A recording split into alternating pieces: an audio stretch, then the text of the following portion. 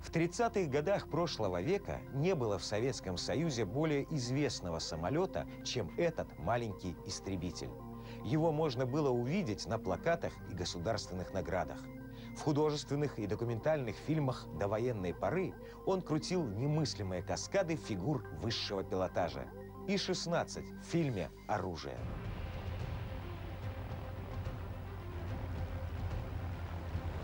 И-16 создавался как скоростной истребитель, который одновременно имел максимальную маневренность для ведения воздушного боя. Это выгодно отличало его от вертких, но медлительных в горизонтальном полете бипланов. По своему внешнему виду и летным качествам И-16 резко выделялся среди советских и иностранных истребителей начала 30-х годов. Минимальные размеры, бочкообразный толстый фюзеляж, маленькое крыло. Самолет был похож на какое-то фантастическое насекомое. Летчики называли его ишачком. Любили и ругали, как любят и ругают, привычный предмет, приносящий не только радость, но и огорчение. Непростой была судьба этого самолета. Он был создан Николаем Поликарповым, руководителем бригады номер 2 Центрального конструкторского бюро в инициативном порядке. Основной задачей бригады в то время была разработка по заданию ВВС истребителя полутораплана И-15. Конструктор на свой страх и риск предложил заказчикам из военно-воздушных сил проект еще одного самолета – моноплана с низкорасположенным крылом и двигателем воздушного охлаждения. Именно в него Поликарпов заложил весь накопленный к этому времени опыт, все свое конструкторское чутье. Он понимал, что окончательный переход от биплана к моноплану уже предрешен. Возросшая примерно в полтора раза мощность авиадвигателей позволяла снять второе крыло с биплана. При этом за счет снижения аэродинамического сопротивления самолета должна была резко возрасти его скорость. Военные заинтересовались новым перспективным истребителем и выдали на него задание, не включив, однако, при этом в план. Так, полулегально, вступила в большую жизнь будущая небесная знаменитость. 30 декабря 1933 года летчик-испытатель Валерий Чкалов впервые поднял в воздух машину, которая получила индекс И-16. Это был во всех отношениях уникальный самолет. Его конструкции и технические данные знаменовали новую веху в истории истребителей. Самолет был задуман и выполнен как хорошая гоночная машина. Ничего лишнего, никаких выступающих частей и деталей. Шасси впервые в мире выполнено убирающимся. Чистые обводы крыла, зализанный деревянный фюзеляж. Все поверхности обтянуты полотном. Металла в конструкции самый минимум, только для прочности. Поэтому И-16 получился очень легким.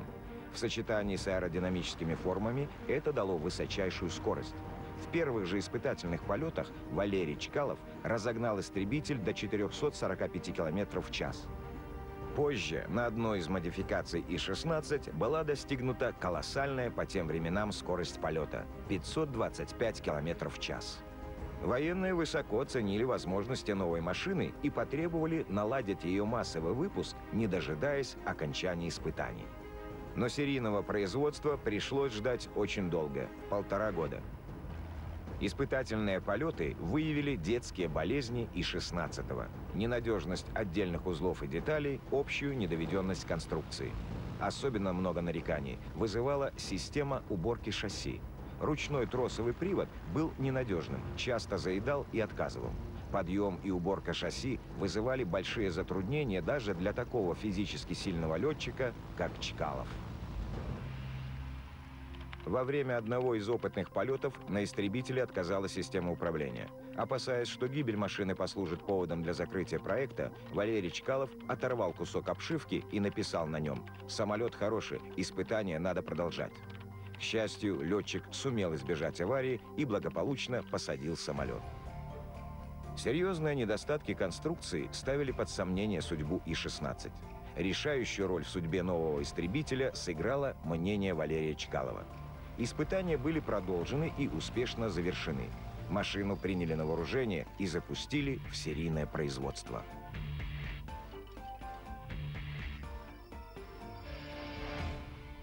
И-16 истребитель. Длина 6 метров. Размах крыльев 9 метров. Максимальная взлетная масса 1500 килограммов. Силовая установка. Двигатель М-25 мощностью 730 лошадиных сил. Максимальная скорость 445 километров в час. Практический потолок 9100 метров. Практическая дальность 540 километров. Вооружение. Два пулемета калибра 7,62 мм. Новый истребитель летал и набирал высоту в полтора раза быстрее, чем И-15. Однако он не вызывал особого восторга у летчиков строевых частей. Непривычно большая длина разбега, 300 метров, требовала новых аэродромов. Машиной было значительно труднее управлять.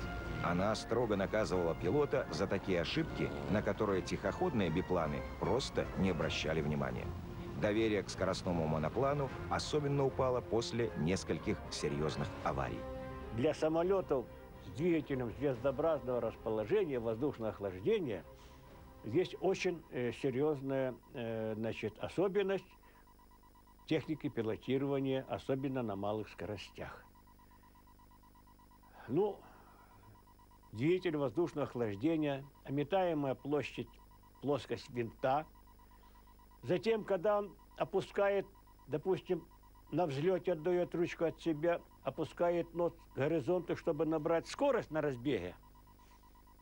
И если он это делает резко, неплавно, то есть резко изменяется плоскость вращения, возникает процессирующая сила, это по принципу процессии гироскопа, влево, и самолет, если ты не успел удержать правой ногой, то если ты взлетаешь туда, то закончишь туда взлет. Это в лучшем случае. А как правило, в этом случае самолет разворачивался, мог стать на нос, крутануться несколько раз вокруг э, винта на коленвале, и потом либо упасть назад, либо упасть на спину. Быстрее освоить новую технику помог двухместный учебно-тренировочный вариант истребителя УТИ-4. Николай Поликарпов создал его в 1934 году одновременно с основной моделью. На каждые четыре боевых самолета выпускался один учебный. Всего заводы дали войскам 3300 УТИ-4. Для того, чтобы помочь строевым летчикам преодолеть страх и недоверие к новой машине, руководство военно-воздушных сил пошло на неординарный шаг. Лучшие летчики-испытатели страны организовали своего рода воздушно-цирковую труппу. Ее называли «красной пятеркой» по цвету входивших в нее машин. Руководил пилотажным коллективом Петр Стефановский. Стефановский Петр Михайлович, летчик-испытатель, генерал-майор авиации, герой Советского Союза. Годы жизни 1903-1976. Родился в Могилевской губернии в крестьянской семье. Окончил Качинскую военную авиационную школу летчиков. Работал в НИИ ВВС. Испытал более 50 новых типов самолетов. Пилотажники гастролировали по воинским гарнизонам в течение всего 1935 года. Своими глазами увидев показательные воздушные бои, групповую и сольную акробатику, строевые летчики в корне меняли свое отношение к И-16. Летчик Павел Рычагов во время одного из показательных выступлений смог последовательно совершить 110 взлетов и посадок. Все участники «Красной пятерки» и сам Николай Поликарпов были награждены орденами Ленина, высшей наградой государства.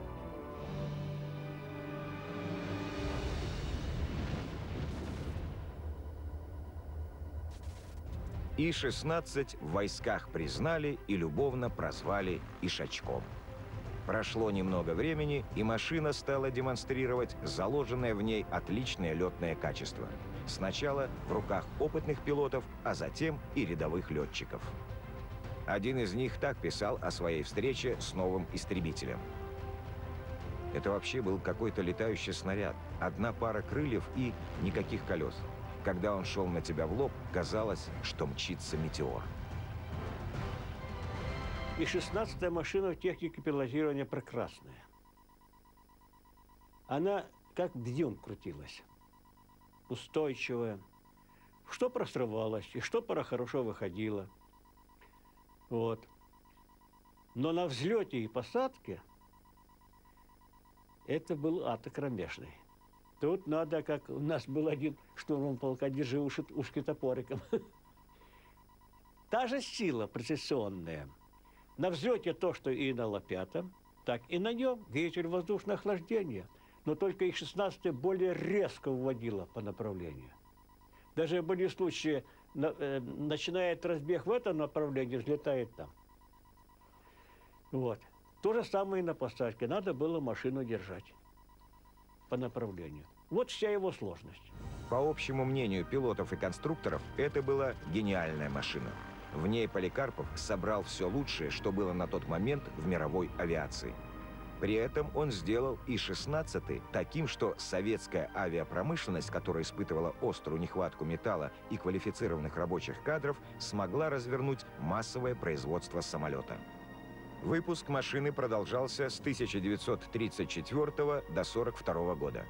Всего ВВС Красной Армии получили более 10 тысяч и 16 -х. Истребитель непрерывно совершенствовался, менялся в деталях, оснащался более мощными двигателями и более сильным вооружением. После каждой модификации возрастали боевые возможности самолета. Но его основная схема, размеры, формы и обводы фюзеляжа, крыла и оперения оставались неизменными. И-16 получили боевое крещение в небе Испании. На этих машинах советские летчики дрались с японцами над озером Хасан и рекой Халхингол. Истребки Поликарпова вынесли на себе всю тяжесть боев с немецкой авиацией в первый период Великой Отечественной войны –